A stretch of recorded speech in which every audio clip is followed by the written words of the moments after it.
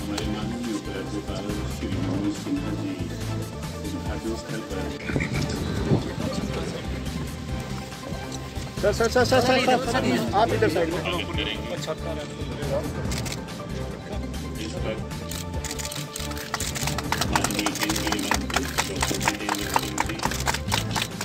माननीय राज्यपाल जम्मू कश्मीर